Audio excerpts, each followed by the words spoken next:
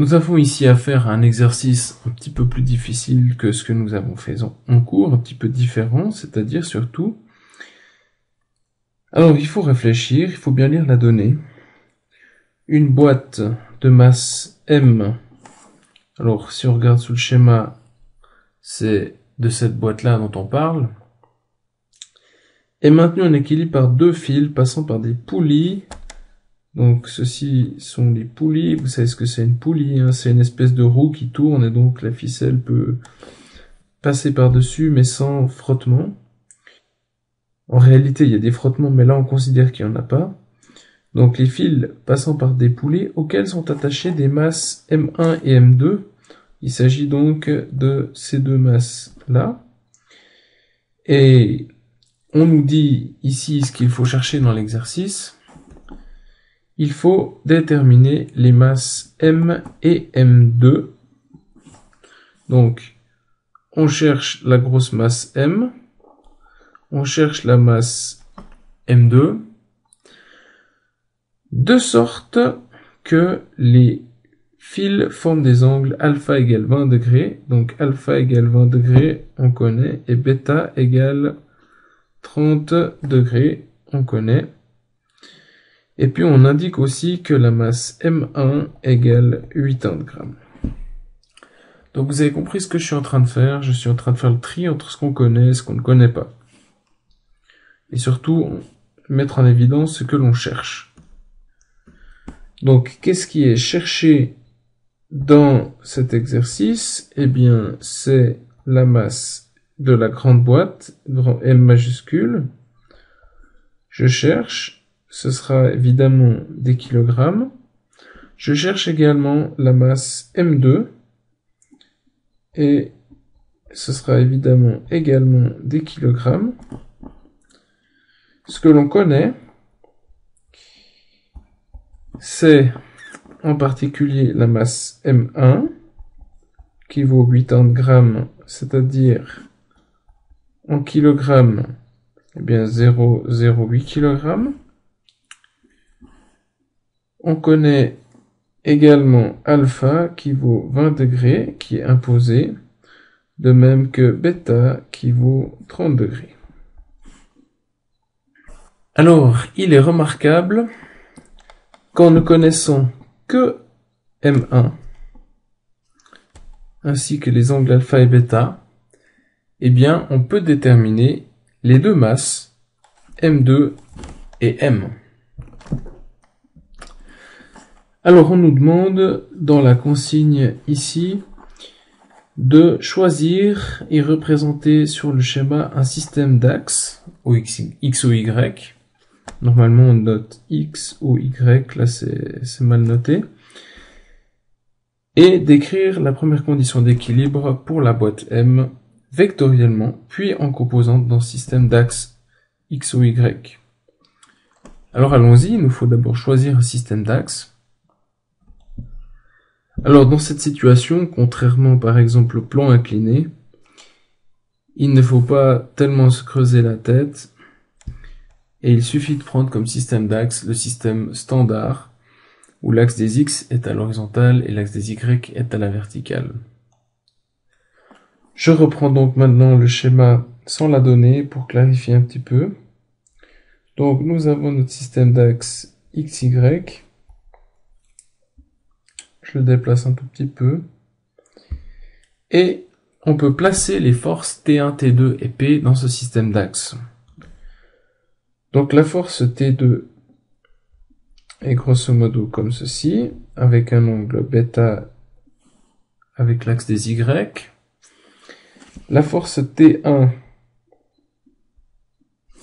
dans le deuxième cadran avec un angle alpha formé avec euh, l'axe des Y, et finalement la force de pesanteur. Alors on nous dit que ces trois forces s'annulent puisque la boîte est à l'équilibre. Nous avons donc la première condition d'équilibre qui est valable. Donc la somme des forces vectoriellement est égale au vecteur nul. Ça, c'est, je rappelle, la première condition d'équilibre. Et ce que nous allons faire, eh bien, c'est décomposer les différentes forces dans le système d'axe XY, c'est-à-dire déterminer les composantes de ces vecteurs.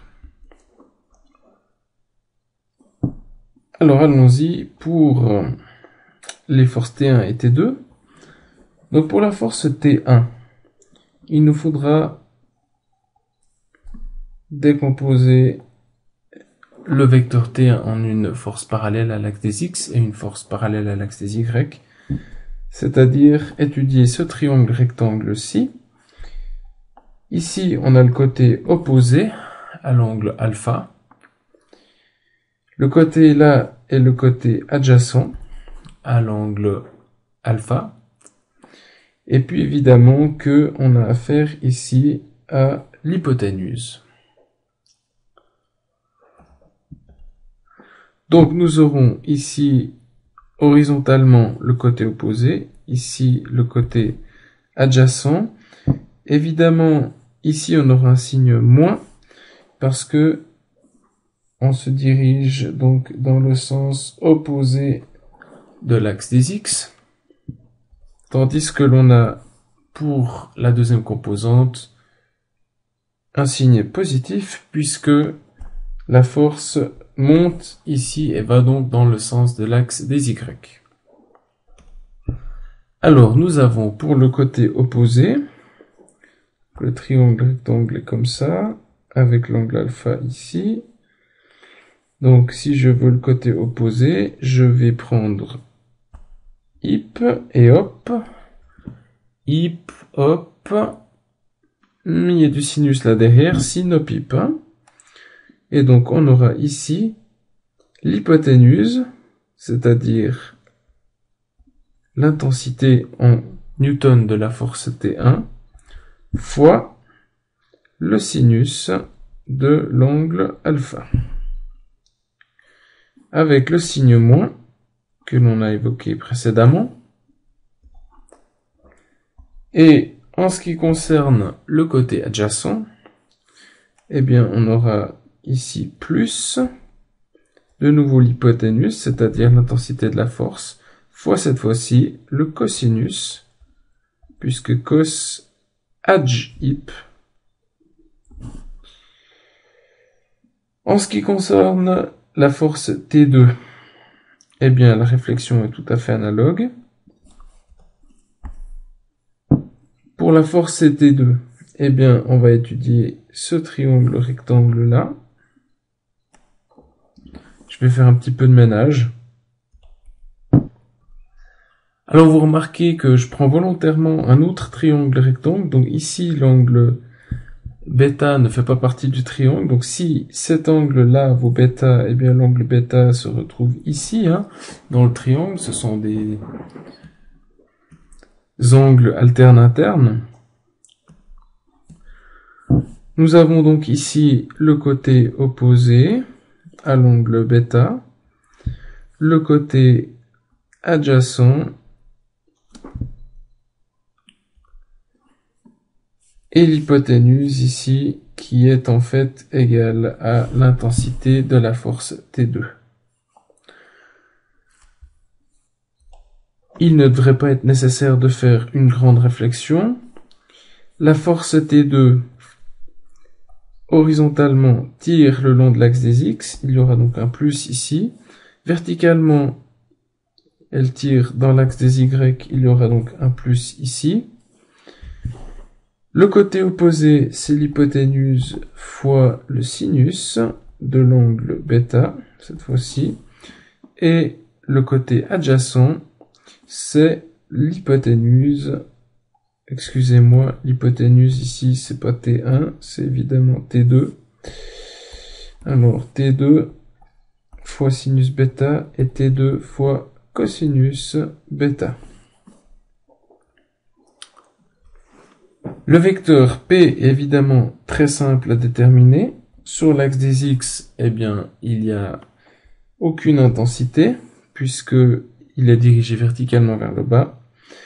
Par rapport à l'axe des Y, évidemment, il y a un moins ici parce qu'il regarde dans le sens opposé de l'axe des X, euh, des Y, pardon.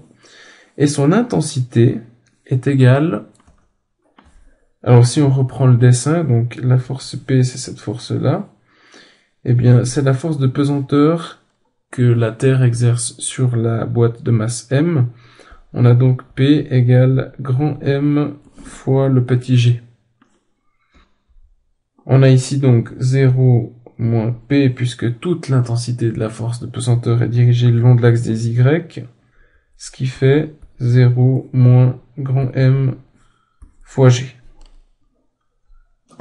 Voilà ce que nous avons fait jusqu'à présent, et eh bien exactement comme, nous l'avions fait durant les exercices en classe, nous avons déterminé les composantes des vecteurs dans le système d'axes x ou y choisi. Il ne reste maintenant plus qu'à exprimer la condition d'équilibre à l'aide des composantes que l'on vient de déterminer, et ainsi trouver les équations qui nous permettront de résoudre le problème. Alors allons-y. Nous avons donc la condition d'équilibre T1 plus T2 plus P égale le vecteur nul. T1, nous avons dit que c'est moins T1 fois sinus alpha plus T1 fois cosinus alpha plus. Alors la force T2 c'est plus T2 fois sinus de bêta cette fois-ci plus T2 fois cosinus de bêta.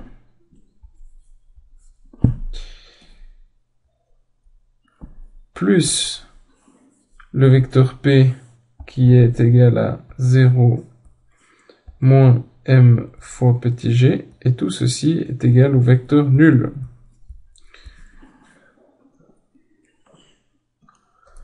Ce que nous venons d'écrire est la condition d'équilibre, donc la première condition d'équilibre en composante, et cette condition d'équilibre en composante nous livre des équations. Ici, nous avons deux équations. Une qui est livrée par les composantes du haut, c'est-à-dire moins T1 fois sinus alpha plus T2 fois sinus bêta égale 0. Et la deuxième équation que nous livre la condition d'équilibre, eh bien, c'est celle-ci, c'est que T1 fois cosinus alpha plus T2 fois cosinus bêta est égal, pardon, moins M fois G égale 0. C'est donc ici un système de deux équations à deux inconnus auxquels nous avons affaire. Donc je numérote les équations pour plus de clarté. Premièrement, on se rappelle que ce qui est cherché, eh bien, c'est la masse grand M et la masse M2. Alors la masse grand M, elle apparaît ici. C'est déjà ça de gagner. En revanche, la masse M2 n'apparaît pas dans notre équation. Il nous faut donc revenir à notre schéma de départ.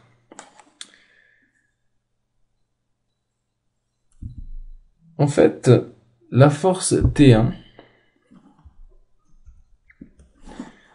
est égale, à cause de la poulie, à la force P1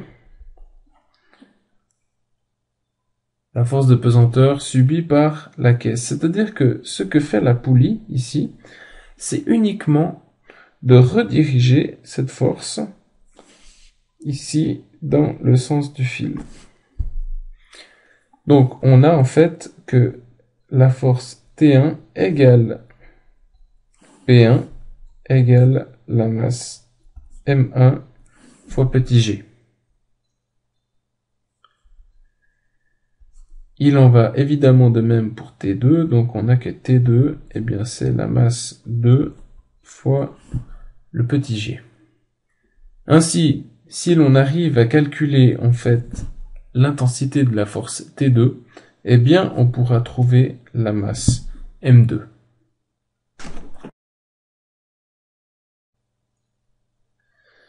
Alors ce qu'on peut faire maintenant, eh bien c'est de réécrire ces équations en utilisant que T1, eh bien, c'est la masse M1 fois petit g, et T2, c'est la masse 2 petit g. On obtient donc moins M1 fois g fois sinus alpha, plus M2 fois g fois sinus bêta égale 0. Et la deuxième équation, donc, M1 fois petit g fois cos alpha plus m2 fois petit g fois cos bêta moins grand m fois g égale 0. Et maintenant, ce qui est remarquable, c'est que l'on peut diviser la première équation par petit g, puisque euh, puisqu'en fait on peut mettre petit g en évidence, donc ça fait moins m1 euh, fois sinus alpha plus m2 fois sinus bêta, d'accord, égale 0. Donc puisque le petit g a pu être factorisé ici, eh bien on peut en fait diviser par petit g. Et on peut faire la même chose avec l'équation verte parce qu'on peut aussi factoriser le petit g. Ceci nous donne donc le système d'équation moins m1 fois sinus alpha plus m2 fois sinus bêta égale 0. Et pour l'équation du envers. Si je divise tous les termes par petit g, j'obtiens m1 fois cos alpha plus m2 fois cos bêta moins grand M. Donc tout le monde est divisé par petit g égale 0. Donc de l'équation orange, on peut tirer m2, d'accord? Puisque m2 fois sinus bêta, eh bien c'est égal à m1 fois sinus alpha. C'est-à-dire que m2, ben c'est égal à... Donc là je divise les deux membres par sinus bêta. Donc là j'aurai m1 fois sinus alpha sur sinus bêta. D'autre part, euh, eh bien, la masse M que je cherche, c'est simplement, ici je fais donc simplement plus M dans les deux membres, c'est simplement, euh, eh bien, M1 fois cos alpha plus M2 fois cos bêta. En résumé, il nous suffit donc de déterminer M2, ce qui est facilement faisable puisque on sait que M1 c'est 80 grammes, on connaît sinus alpha, on connaît sinus bêta. Et une fois que l'on a M2, eh bien on connaîtra M1, le cos alpha, on connaîtra M2, le cos bêta, et on pourra donc calculer la masse grand M. Numériquement, on a donc que la masse M2 est égale à 80 grammes fois le sinus de, alors alpha c'est 20 degrés, sur le sinus de bêta, c'est-à-dire le sinus de 30 degrés, égale. Alors pourquoi est-ce que je peux laisser des grammes ici que je dois pas forcément mettre en kilogrammes? Eh bien tout simplement Parce que je multiplie ici par un rapport qui n'a pas d'unité, un nombre sans unité. Donc on va trouver ici également des grammes. Et ceci donc vaut à peu près 54,72 grammes, c'est-à-dire 54,7 grammes. La masse grand M, quant à elle, eh bien, elle vaut la masse M1, 80 grammes fois le cosinus de alpha, c'est-à-dire le cosinus de 20 degrés, plus eh bien, la masse M2 que l'on vient de calculer, 54,7 grammes fois le cosinus de 30 degrés. Et ceci nous fait ceci nous fait environ euh,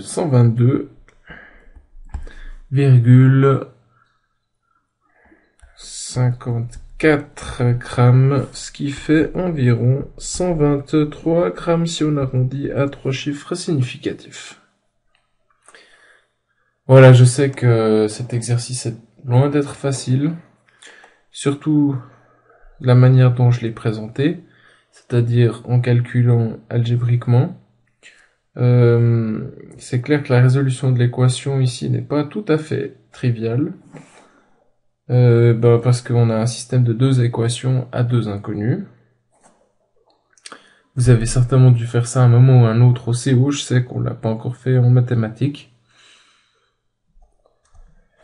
Et je vous invite peut-être eh bien à regarder encore une dernière fois la vidéo, euh, peut-être pas une dernière fois, mais une seconde fois la vidéo pour euh, eh bien éclaircir les points qui demandent encore euh, quelques petites explications. Évidemment, je suis aussi disponible par courrier électronique si vous me posez une question précise. On aura peut-être le temps de le voir au cours. Il y a aussi une façon un peu plus intuitive pour résoudre cet exercice en calculant moins. Euh, je le montrerai peut-être dans une, dans une autre vidéo. Je vous souhaite vraiment beaucoup de courage pour euh, l'examen et pour étudier ces problèmes de décomposition de force qui sont loin d'être faciles la première fois qu'on les voit.